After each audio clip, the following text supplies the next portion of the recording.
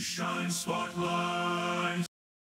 When your face come out of the bag, you're gonna say loud. Okay, let's count. One, two, three.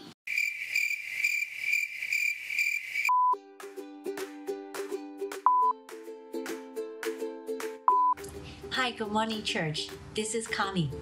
Happy Mother's Day. Today is a special day, and I have a treat for you all. We have asked the Little Shine expert to give us the inside scoop of what makes their mom so amazing. And their observations are nothing short of exquisite.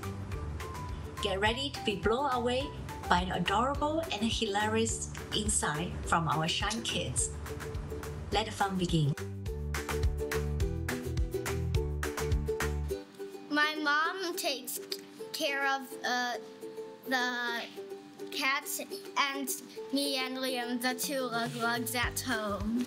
My mom mostly at home is she, she makes us do my our homework and and mostly takes care of us and make and mostly sleeping. My mom wants to sleep at home very badly, but this person over here keeps disturbing her. My mom takes care of me and my siblings, and she sometimes cooks for us. She does random stuff, kind of. Lets me do my homework and other things. She eats, sleeps, goes to work. I don't know. Uh, she works on her laptop.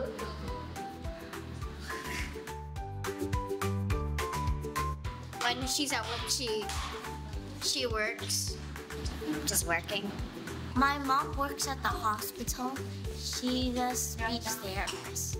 My mom is a church ministry director. My mom always has meetings and also goes outside for business dinner. My mom doesn't go to work. My mom at work mostly bosses people around. It's not her job. It's not my job. On Mother's Day, I will write to cards.